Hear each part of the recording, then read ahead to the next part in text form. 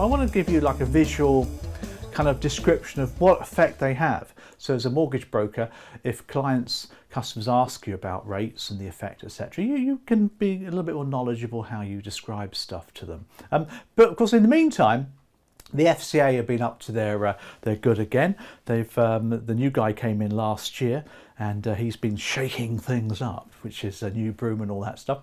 And he's brought in this new um, AR regime, not, not the consumer duty, push that one aside.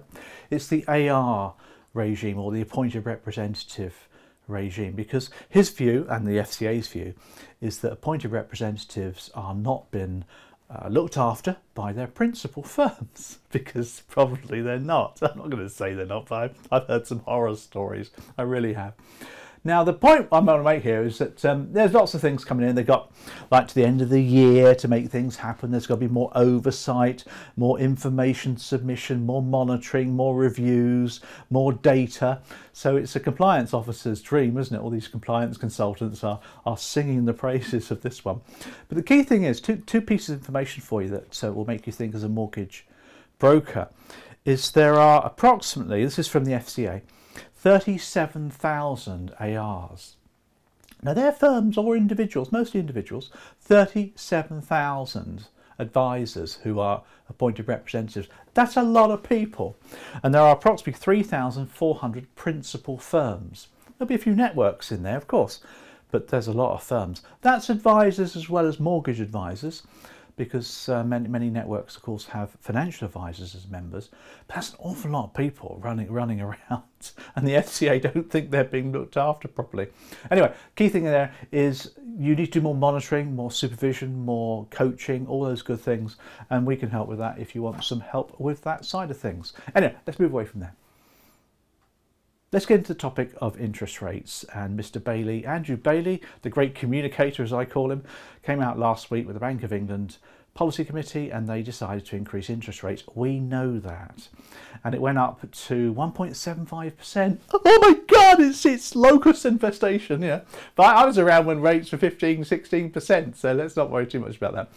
Anyway, they're on the way up, and there's a forecast that by 2033 or uh, 23 next year, they're going to be around about the 3% mark. Now that's Bank of England base rates. So you'll be thinking, well, how's that going to affect everything else? And what I want to do now is show you visually how this all works. So um, let's head over to the whiteboard, shall?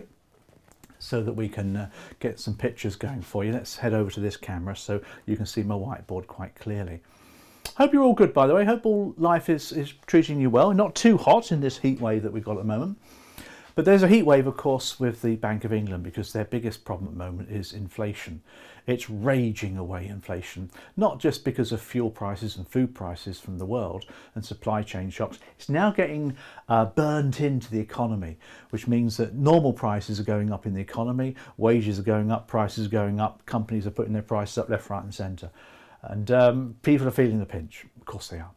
Now, the Bank of England need to do something about it. They have a target of 2% for inflation, which is way out. They completely missed this one. And uh, they are criticised for it, but actually they did have the pandemic to deal with at the time as well, so they couldn't quite see it. Anyway, what's happened? Bank of England. Let's put the Bank of England up on our, uh, our board here so we can see them quite clearly. Let's put our Bank of England here for you. So let's put uh, the, the, the, bank, there you go, the Bank of England looks something like this. You've got uh, sort of pillars, you? The Bank of England. It's known for its pillars. And we've got um, some more pillars down here. Do you like my picture of the Bank of England? There you go. Of the Bank of England, and there, there it's all looking lo rather lovely. That's the Bank of England. Now, the Bank of England, of course, are the government's bank, and uh, they are the lender of last resort, all those good things. Now, we do need to put the government in here. Now, the Bank, the Bank of England is independent from Her Majesty's government, but we do need to put the government in here as well. So let's uh, let's get some more pictures going through. So let's put the uh, the big Ben there for you. You like that one, do you? And then we can put uh, some some more pictures up here, and we get that one here as well. And we'll put a little picture there, and we'll have a little top top to the uh, spire of of, uh, of Westminster. I hope you like these pictures. They're just a bit of fun, really, aren't they? And at the end of the day, we can have a little bit of fun if we wish to. So there's uh, there's the the government, the UK government. Now the government, of course, control the Bank of England. They do have independence, so they can do what they like to interest rates. It's not a political thing anymore. It used to be a few years ago, not anymore, which is good.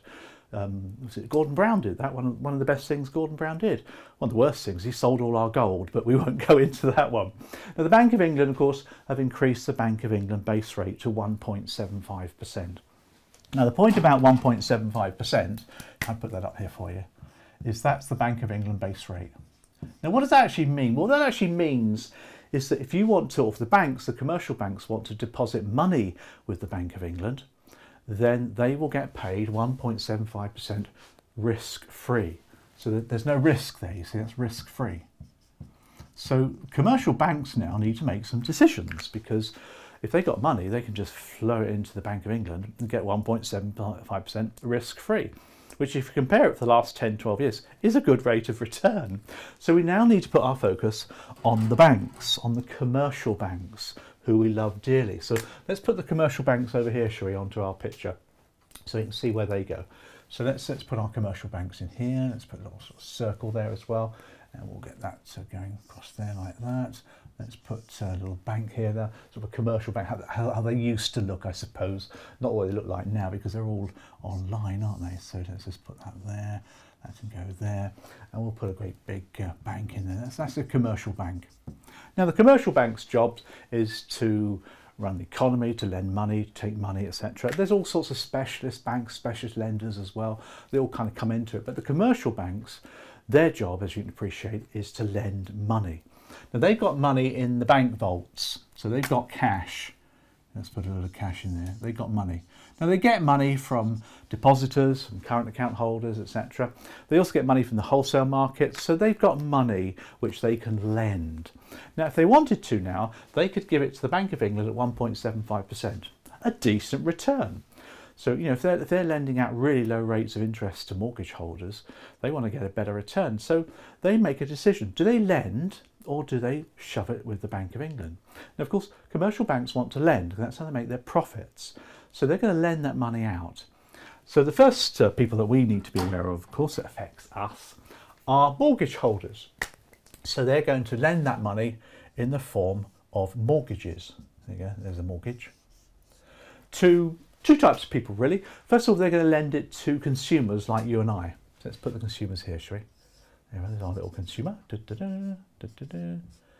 our consumer. Now, our consumer, of course, is pretty unhappy at the moment because they're having to incur um, a higher return because the bank, of course, will lend to a consumer at a higher rate than 1.75 because they could give it to the Bank of England 1.75.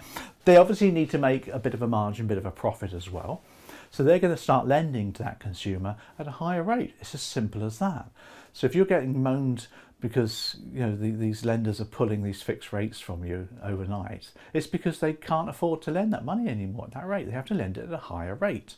So consumers, of course, are going to be rather upset about this. But the thing about most existing borrowers, not new borrowers, I'm talking about existing borrowers.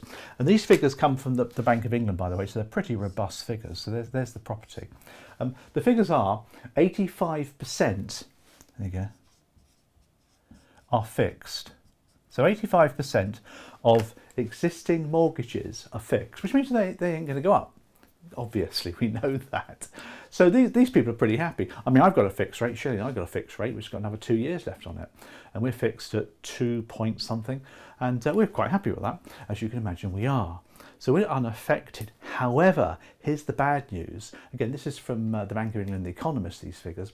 By 2025, this is the, the, the, big issue we've got here, really. Let's put a little uh, emergency sign in here. Can you, this is kind of like an emergency, like that.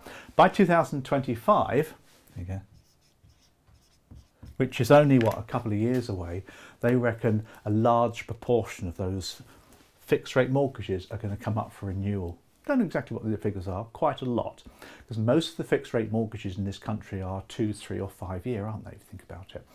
And when interest rates were really low just before the pandemic, we took ours out in 2019 and we got 2% beginning of 2019.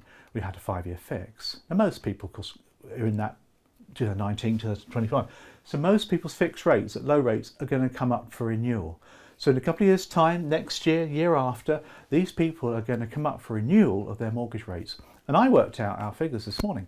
And for each 1% increase in our mortgage, we have to pay another 200 quid. So that's a lot of money. so, you know, we're going to be faced with some more money, as everybody else is.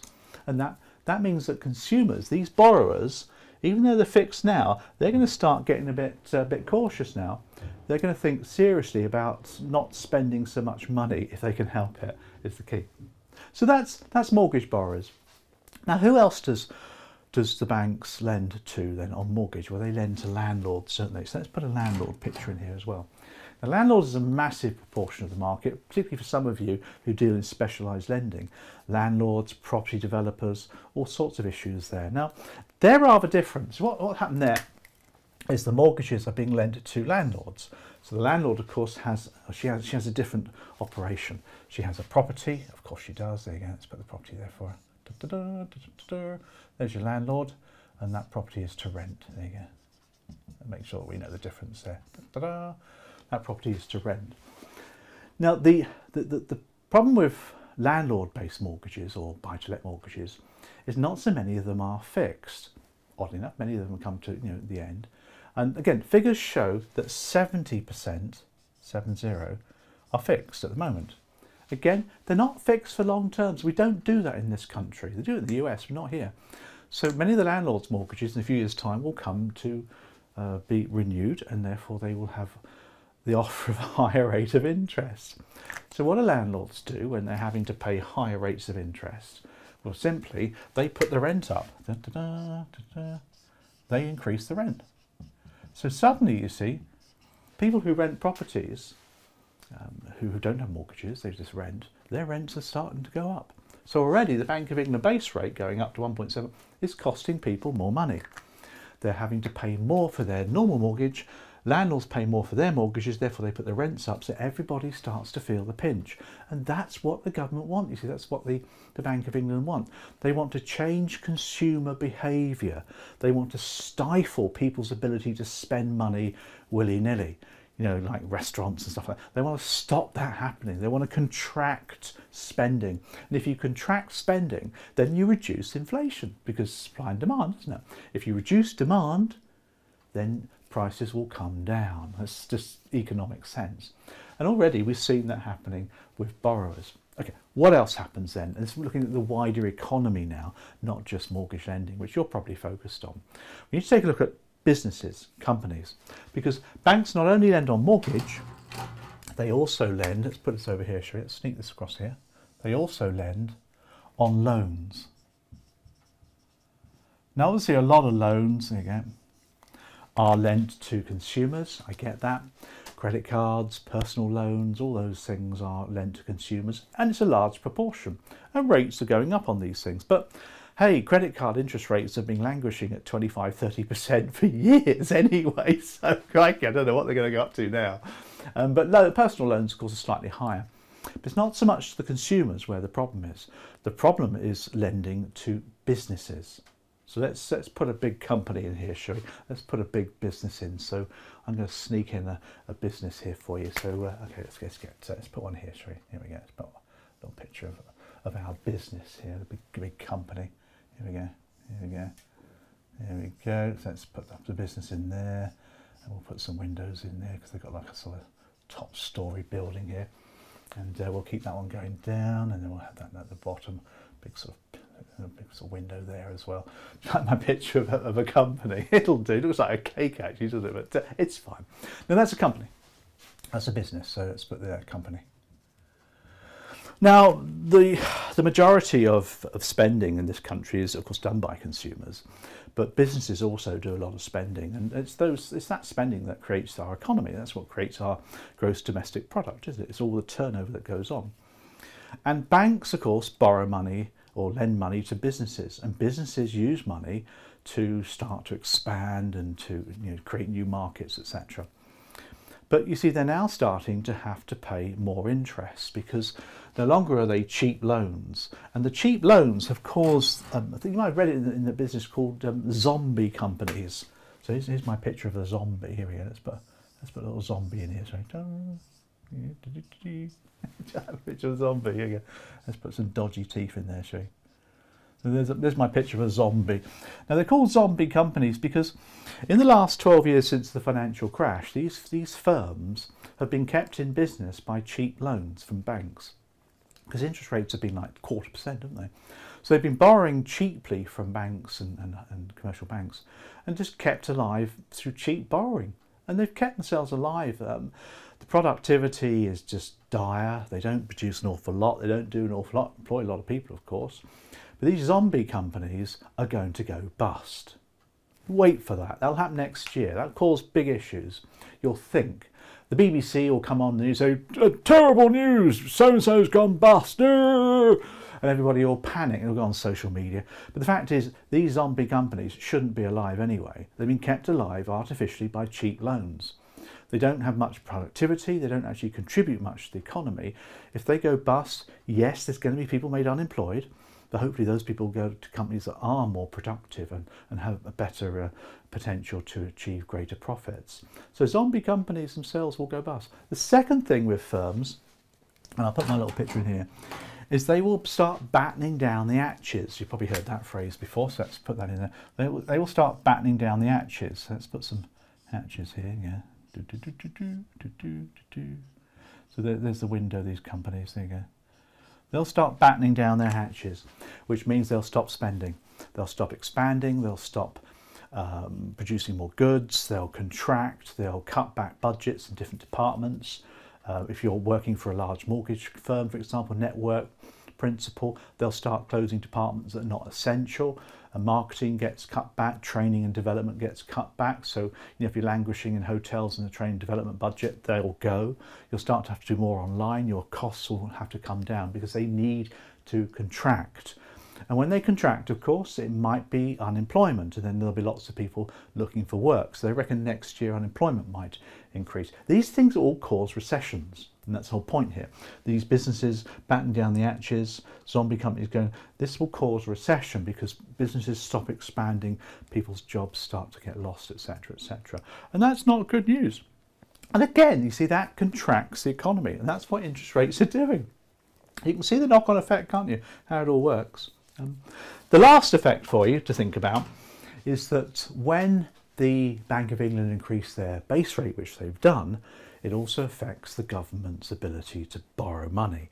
Now, as you know, the government, UK government there, borrows money, it obviously gets taxes from people, it borrows money to fund its spending. And it's been able to do that over the last 10, 12 years with very low rates of interest. Now, I agree, any gilt issued on the market is fixed for its lifetime, but any new gilts that get issued to replace all the ones that mature will have to be offered at a higher rate of interest. In other words, the government has to start paying more interest uh, each year than they've ever done before. And that's going to cause the government to start cutting back. They're going to cut their spending as well, or they might increase their taxes. Now, Rishi and uh, Liz Truss have been telling everybody they're going to reduce taxes, but they actually can't afford it. I wish people would understand that. You've got to keep taxes coming in to pay for spending. And obviously, if the interest rate on our government debt is going up, then you're going to have to pay more for that. So spending cuts will occur. And again, that will contract the economy as well. So you can see why these things cause a recession at some point if you talk it up which is what Bailey's done, but we'll go on to that in a second. Um, so that's that's gilts. Obviously, the Bank of England owns, I think it's about a third of the government debt now. So at the moment, of course, the government are paying the Bank of England interest on a third of their national debt the Bank of England's owned by the government, so the government are paying themselves interest, which you can't make that up, can you really? Not a lot of people appreciate that. And they'll probably just cancel those gilts, or they might just sell them back on the market and make some more money. That might fund the government's spending for a few years. But that's that's the effect of QE, isn't it? Which has been going, which by the way, stopped completely now. they don't need to do that anymore.